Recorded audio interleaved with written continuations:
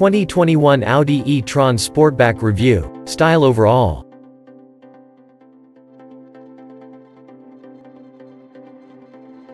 But before we start, please support us by pressing the like and subscribe buttons, so that we can continue to provide information about car and motorcycle news.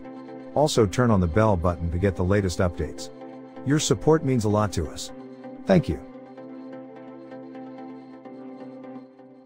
The 2021 Audi e-tron Sportback breaks both new and familiar ground. German brands have been taking conventional two-box crossovers and trimming them down to craft more evocative and interesting shapes for years now. But the e-tron Sportback is the first electric crossover to adopt the automotive mullet. This not-so-novel approach has yielded familiar results. The e-tron Sportback is more pleasant to look at, a bit less practical, and otherwise drives similarly to its conventionally styled sibling. Its bigger issue is that the market for EVs is far different now, and the e-tron will need more than good looks to compete against both newer competitors like the BMW iX and Ford Mustang Mach-E GT and old rivals like the Tesla Model X. The regular Audi e-tron is a handsome car, with good proportions and a pleasant face.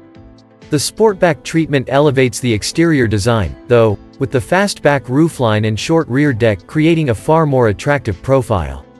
The e-tron is a relatively large, heavy vehicle, and yet the new roofline dramatically reduces the visual mass, making this EV look smaller than it is.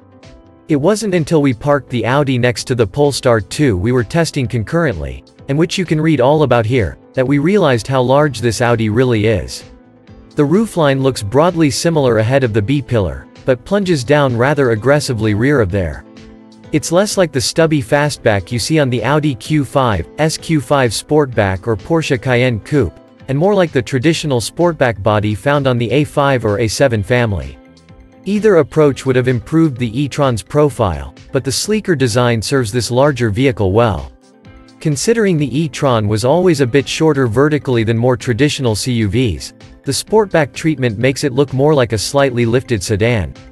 Despite the flashier exterior, the e-tron Sportback's cabin is identical to its conventional sibling.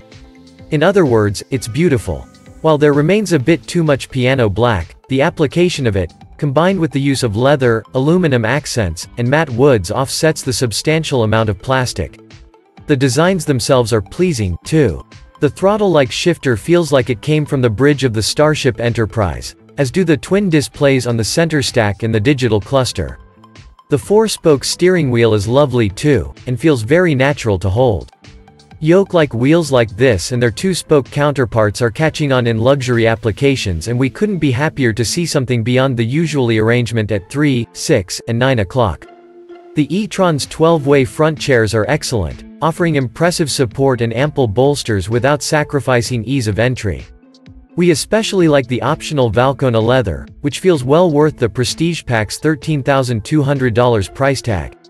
Sightlines are fantastic forward and laterally, but that fastback shape is tougher to see out the back of.